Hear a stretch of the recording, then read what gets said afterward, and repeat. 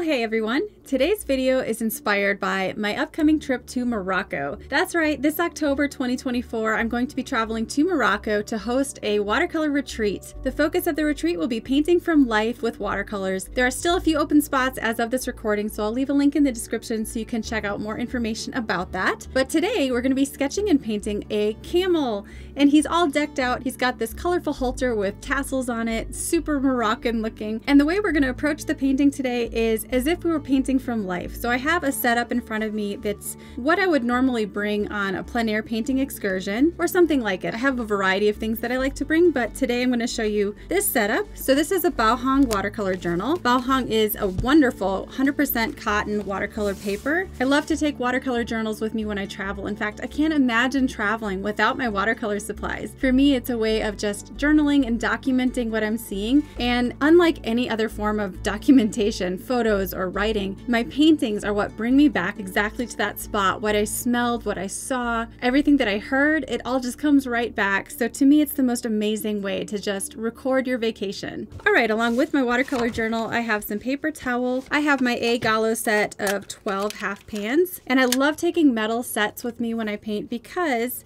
they're so much easier to travel with. They're just small and compact. I always just take pan paints when I travel. And these, you can't ever have too many of these. These little clips with a magnet in them are amazing. I like to just clip them to my journal like that. Not only does it help keep the papers down, but you can also attach your palette to your magnet and that just keeps it stable for you so it's not going to slide off your paper. And then I always carry a spray bottle with water. I use that both to fill my water jar and to spray my paints. You could also take something like this. This is a Faber-Castell collapsible water cup. These are super lightweight. I like to use the metal ones again because they're magnetic. This one has a little clip on it so you can easily attach it to your palette. Inside my palette, I have a silver black velvet travel bullet brush. This one's a size 4. I like to use a bigger brush too, so I have a Da Vinci Colineo size 12 round brush and a pencil. And that's pretty much all you need. Now, normally painting on location, I would be at a table or I would have my standing easel or I'd be holding it in my lap. There's any number of ways that you can do this. With a camel, of course, you're probably not going to get a really detailed sketch and painting of a camel because it's a living, breathing, moving being. And unless it's holding super still for you, it might be really hard to paint from life. So this might be something that you actually just snap some photos and take home. But either way, we're going to approach it from that kind of spontaneous, this is what I'm seeing and sketching as fast as I can kind of approach. So let's get started. All right, when I'm sketching something from life, I like to start with the overall shape of the thing that I'm sketching. You may want to leave some room on your paper for some notes, some swatches, whatever you want to do. I'm actually going to, yeah, leave a little room on the left here so that there's just some space for me to make some notes if I want to do that. Often when I'm traveling, it's nice to save some space for putting the date, the location, and it'll just bring you right back to that spot. So I'm just starting with the overall shape of the camel's head.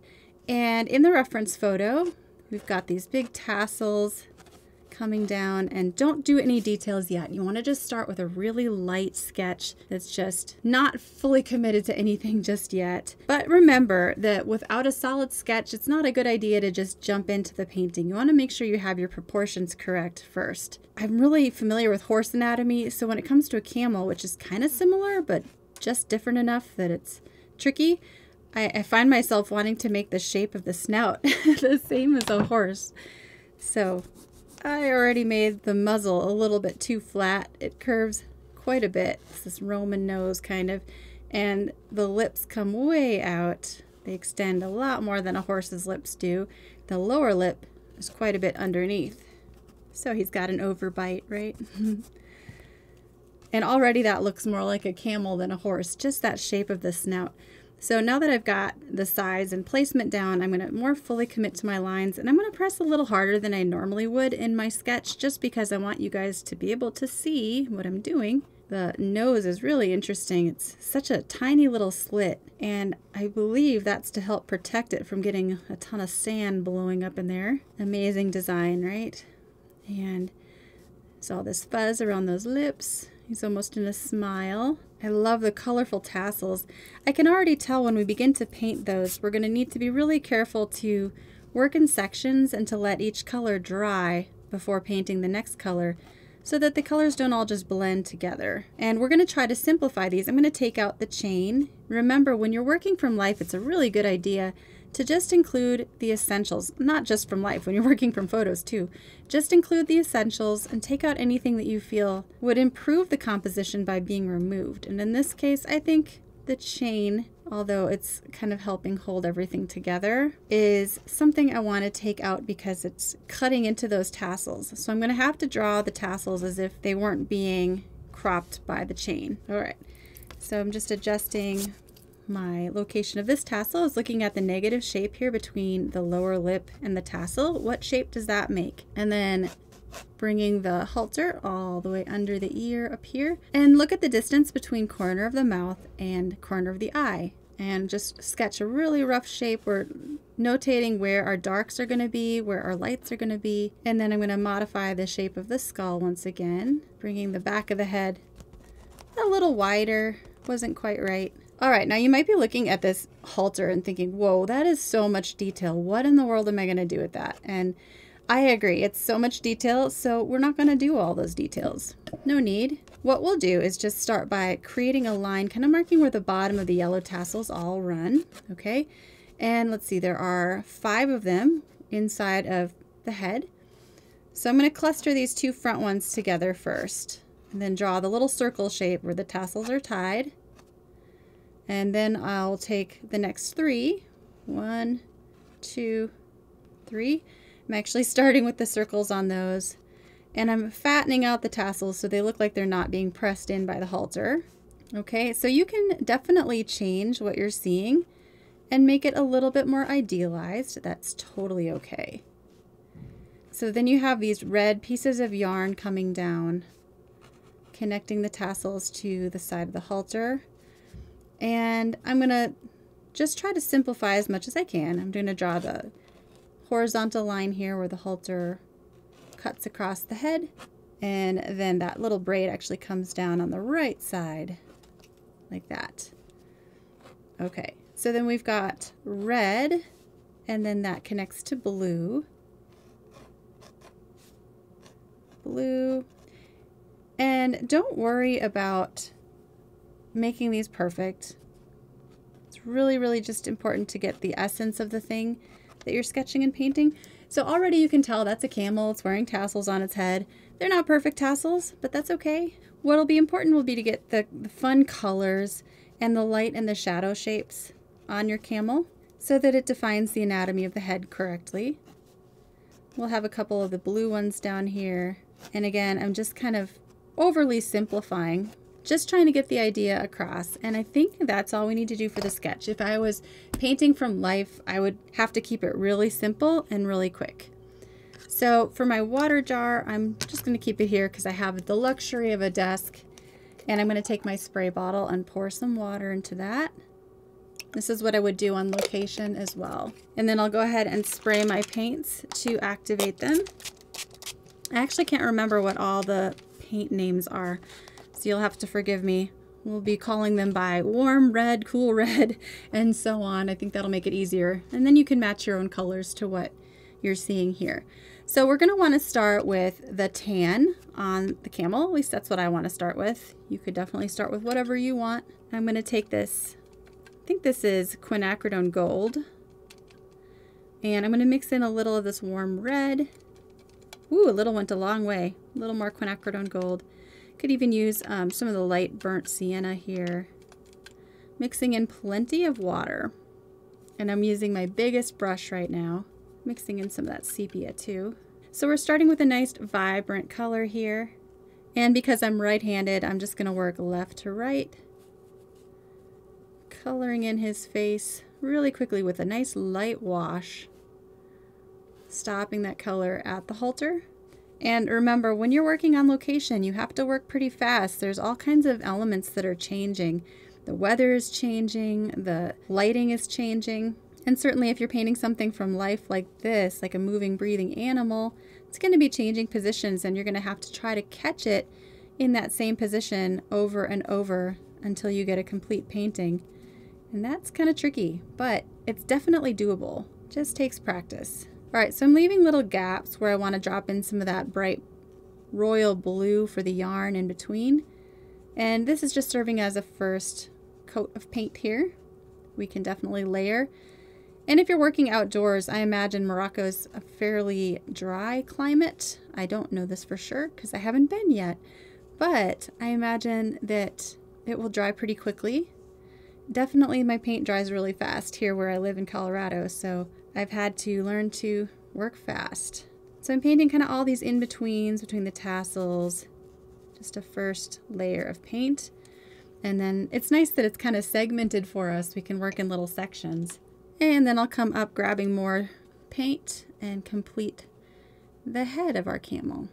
You can paint around the eye for now. I like to save the eyes for last. Really helps bring it to life at the end. Now if you want a nice soft edge for that fuzzy ear, if you have a second brush, this is your chance to create that soft edge.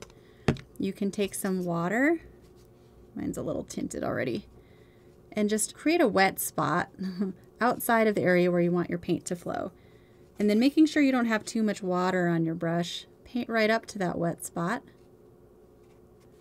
And your paint will flow into the wet area and then I want the top of the head to be a little lighter. So I removed some of the paint from my brush and now I'm just swiping along that top of the head with that lighter value.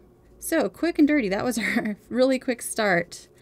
And now we'll begin the process of layering. If it's still wet, you can actually do some wet on wet techniques in here. If I control how much water is in my brush, I can get away with a little bit of wet on wet. Yeah. So I'm digging into my dark brown now and starting to add a dark shadow already on the underside of his head. And right here where that halter connects, we've got this metal bit right here. Just darkening there. I want to make sure we're showing a correct light and shadow on the head. And it's also illuminating the anatomy of the animal. So, you know, these are really important details, I think. Going to get the underside of the mouth. And notice I'm just pulling paint directly from my palette at this point. Because my surface is damp, I need to work with damp or almost dry paint on my brush, not wet. No, no, no. If you have too much water on your brush, it's just going to push aside the paint that's already there. Now I actually want to lift a little bit of color back out, so I've just kind of dried my brush slightly. This color is somewhat staining, so it's resisting lifting. But if you can, you can get away with a little bit of lifting while it's still damp. And here you can see if you have a brush that's too dry, lifting is going to happen. I'm doing it intentionally right now. But you may notice that that happens and you didn't intend to do it. Well, this is why. If your brush is really quite dry and you're pressing hard on the paper, you'll lift some color right back out. All right, I'm going to dip into my warm blue. This is, I think, cobalt blue. I can't remember what's on my palette. But I'm going to go ahead, oop, that's, hmm. I'm going to take a little red and mix that with it. So I have a royal purple. Yes. And I'm going to use that on the front of the lips here. So slowing down a little bit now, especially since it's begun to dry. And if I want a lighter value, I just dip in the water, remove some water on the paper towel so that it dries my brush slightly. We're using our techniques that we practice in the studio and we just take those same techniques out of doors and have to work a little bit faster, that's all. Just makes it a bit more exciting. okay, now this area has dried enough that I can do some dry brush scraping. So I'm taking that purple that I mixed up and just scraping it across the snout. And that creates the look of stubbly fur there on the nose. And then I can take some more of my dark brown, paint the inside of the nostril and the underside of the nostril. Just reinforcing those dark shapes. So a little bit of my Yellow is still left on my palette, so I can begin to layer some more color, adding some more three-dimensional shape to our camel's face. So on the underside of the head here, we see some midtones and some more interesting anatomical shapes, which of course are dictated by the shape of the skull beneath. And so we're beginning to paint those shapes in. So I think that's pretty pretty good for the muzzle. I don't want to do too much more on that. We have a lot still to do. And imagining if my camel is standing out there, you know, moving and breathing, he's not going to hold still. okay, so I'm adding a second layer of that same quinacridone yellow burnt sienna mix to the head here and adding a little bit of water to lighten it up at the top of the head. Remember, top of the head is where the light is hitting, so that's going to be the lightest spot on the camel's head. All right, and then I'm dipping in my dark brown and just swiping that over the ear here. You want to leave some little separations of hair, you can. Make it nice, looks nice and fuzzy. And where that brown touches your wet tan color, should soften out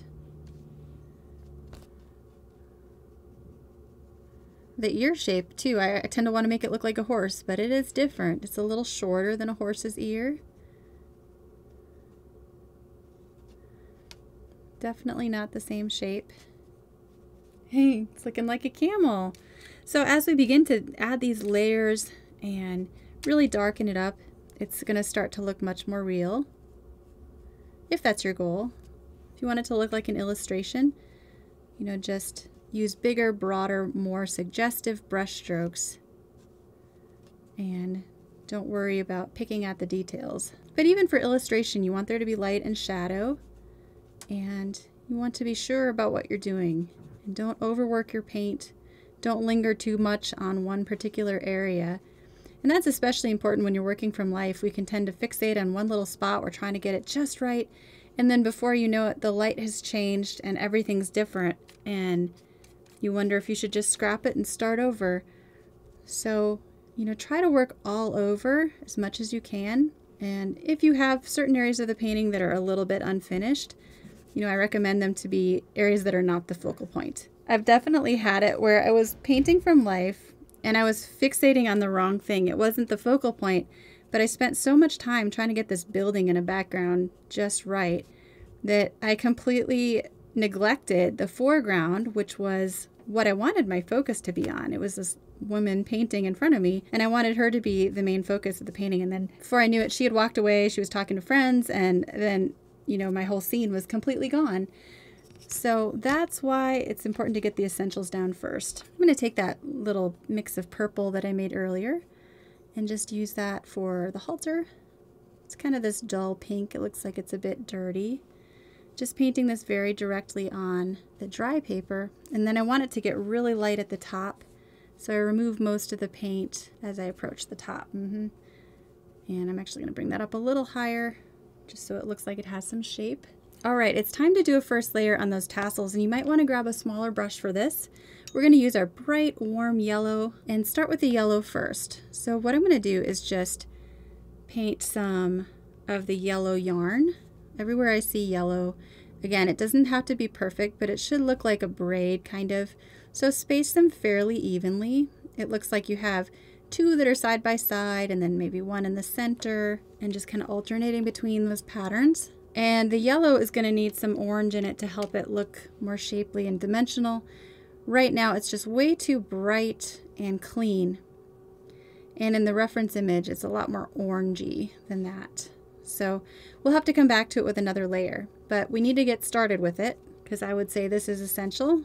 So for the tassels I'm just painting them in solid, thick yellow and there's these green ties, but you can just paint right over those too because what can you mix with yellow to make green? Blue, so we can layer blue over the top and that'll make those green ties. Have to think about what colors are going to be affected if you paint them over the top of something. The colors that are underneath definitely influence what happens when you paint over the top. So that's why I want to paint the yellow kind of separately and make sure that it goes on nice and clean I don't want to start with a light blue, for example, and then paint yellow over the top because then I'm going to get green. So I have to be very cautious about how I layer these things. And then I didn't paint this, or I didn't draw the little braid coming down that side, but that's okay. We'll leave that one out. Notice how simplified these little shapes are. I'm not doing any little tassels yet, no little stringies or anything like that. While I have that brown still on my palette, I'm going to add this tuft of fur here coming out of the back of his head kind of right next to that yellow. If it touches the yellow, that's okay. While that yellow is still wet, this is a great chance to add your red to create more of an orange on the tassels. And the orange is going to serve as a shadow tone, giving it some dimension, helping it look more like the colors that we're seeing too. I almost forgot about this one back here. I'm just going to make that one orange straight away because it's in the shadow. Okay, so I'm working really quickly, just using some quick curved down strokes. And on some of these now, I'm letting my brush separate a little bit so it looks like the string, the tassels, individual string coming down. Not so blocky and chunky anymore.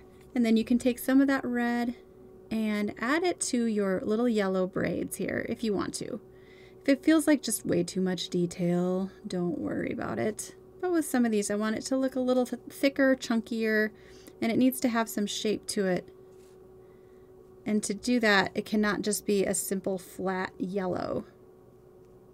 Same with these little ball shapes. You can add a shadow side with your orange, leaving one side in the highlight. Okay.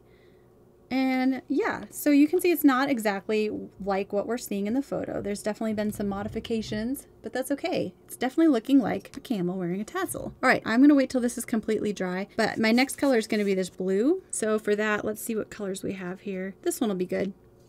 Okay, so I'm gonna use this really nice royal, I think this is ultramarine blue, and we'll just go ahead and paint the blue tassels next. And you can let your brush strokes just kind of disappear off the page a little bit, especially since it's a cropped image. And when you're working from life too, for sure, you don't want to try to include everything that you're seeing. It's tempting because there's so much visual stimulus and it's just amazing. you just want to capture all of it, but let's face it, we can't. So we got to pick and choose. All right, so again, I'm just working really quickly using the broad side of my brush to get it all in as fast as I can. And then we've got one blue tassel back here. Having to continually grab more paint because these are pretty dark. So, you know, when you're working dark, you're gonna have to pick up thicker paint. You'll be amazed at how much paint you go through. Now to darken, you can mix that with that red that's on your palette, maybe a little bit of green. Just need to kind of make some dark version of what you're working with here and then add a shadow to each tassel. Again, on the left side, no, take note of what your light source is. Where is your light coming from? That's going to be really important when you're working out in nature. What time of day will dictate where your light is. And in this case, the light is coming from up above and to the right. All right. So I'm going to rinse that out and I think my yellow is dry enough that I can go on to my next color. I'm going to go with my warm red next and this is going to kind of be between my yellows here and then everything else that we paint on the bridle will be the blue. So you know make these big enough that they're prominent. Don't cover up your yellows. And notice how I'm just not worrying about perfect shapes. You know, we see these perfect little diamonds in the halter. Definitely not doing that. It's just kind of looking like blobs side by side. But when you stand back, you're still going to get the essence of it. It's going to be amazing. You'll be so glad that you tried. And if your paint is catching on the surface of the paper, just dip it gently in the water without removing all the paint from your brush. And that will loosen it up. Introduce some more water to your paint. Don't soak your brush. You don't want to be completely out of control here. But yeah, so there's this yellow and red on this side and this red piece here, and that turns into blue. So just take note of where all your colors are located. Just do your best. And then we've got little bits of red coming down. You can just kind of use a quick little brush stroke to indicate that. Nothing too detailed. And I think that's pretty much it for a red. So before I do the blue, I need to kind of add this dark black shape that's underneath the halter here. So I'm going to take that mix that I made up for my shadow tone and my blue and leaving some gaps for where I want to put the blue paint. I'm just going to paint these, this blobby black thing that's under the halter. I don't know what that is. I don't know, but it's there, so I'm going to paint it. Uh, I'm going to leave out the little bit that's coming out underneath this. Just make it more of a smooth shape, I think. Remember, you can modify. You get to do that. Towards the back of the head, while I have that dark on my brush, I'm going to add some more of that dark color to the ear. And it's probably driving you nuts that I haven't painted his eye yet, huh? We'll get to that, don't worry. Okay, and then while I have that brown on my brush, I can also start to add some more shadows to the tassels. Try not to cover up all your pure yellow, but yeah, you do want to, you know, make it look more dimensional if possible. Add some more of the shapes the tassels, some more upstrokes and downstrokes. Mm-hmm. Okay, so next is blue. Once again, we'll take that ultramarine and now we're going to get to complete the shape of the halter. If your red is dry, of course, make sure your red's completely dry before you jump in with this. And the yellow, of course. And we're trying to create clean shapes here. So painting all the in-betweens, between the yellow, between the red. And it looks like I missed something there, so I may have to come back with my yellow and red and finish that out. Or I could just make it that black again. No big deal. So we want to make it look like these three colors are twisted together and I left that little gap for my blue just so that it looks more pure when I lay it down. It wouldn't show up if I had just painted the black right over the top of everything. So for your colors to show up the best, they should be painted directly on the white of your paper. And that might mean negative painting around the whites first to leave room for those pure colors. While I have the blue, I can go ahead and add those green tassel ties, tassel ties here. And I have the blue in my brush, it's, but it's looking like green because we're painting it over yellow. So I actually grabbed my cool blue. I think that's a phthalo blue, which works really great with your yellow to create a beautiful green. And then let's take a little bit more red and paint in this part of the braided area. I'm just going to fill it all in. Why not? Okay, so while I have some brown on my brush, I'm grabbing some from my palette, some of that brown that I mixed up earlier. I'm going to just paint this little loop, trying to leave a highlight so that it looks like shiny metal. Connects to the bottom of this piece of fabric, and then there's like a center line, and I'm just kind of using a dash line. I don't want to make it too perfect. You can add a little bit of texture to the halter, kind of this light cross grain. All right, last but not least, we get to paint the eye. This to me is the icing on the cake. I don't have black on my palette, so I'm going to need to mix it up. And so for that, I'm going to take this very dark brown and mix it with my ultramarine. You can make a pretty convincing black using burnt sienna and ultramarine. And so this is just a version or variation of that. So with my black, I'll just go ahead and paint the eye shape. I do want to avoid some highlights, little bits of hair overlapping the eye little highlight in the inside of the eye. And there's usually like a little ring of light under the eye, kind of the moisture. So watch out for that, but don't make it too bright. I start by avoiding it, painting around it, and right now it's a little too light. I will go back and darken that, but first I'm just gonna kind of blend the eye into the eye socket by adding some fur texture. And we need to add a little bit more shape here. We didn't really do any finishing details to this portion of the head. So darkening around the eye and under the eye with some of my brown, using a loose blobby motion with my brush, nothing too detailed. But be aware of how dark the paint is on your brush. You don't want it to be too dark. You're kind of just glazing over the top of what you've already got on your paper, building up those layers to make it look more like a convincing eye shape. And then I'm going to go over the top of those highlights just ever so lightly without completely losing them. All right, if you want, feel free to add any additional background washes. I would actually use a bigger brush for this. It's a little bit easier. And my water is super dirty, but you know, when you're working outside, you may end up having to just deal with dirty water. But in this case, I am going to swap it out because I can for some clean water. And I'm going to grab some of that ultramarine that's still on my palette and just do some light blobs of color suggesting the sky behind our camel. This is a playground. You get to do whatever you want here in the background. Just have fun. If you're feeling playful, you could even add some spatter. I'm just to blue that up even more. There we go. Inspired by Morocco, our finished camel. I hope you enjoyed our little tutorial painting a camel together inspired by Morocco, and I hope you'll join me in Morocco October 2024. It's going to be a blast. We're going to do lots more things like this, but a lot more in depth. We'll have plenty of opportunities to take photos, to explore, and paint our vacation. Thank you so much for joining me today. I'll see you in the next video.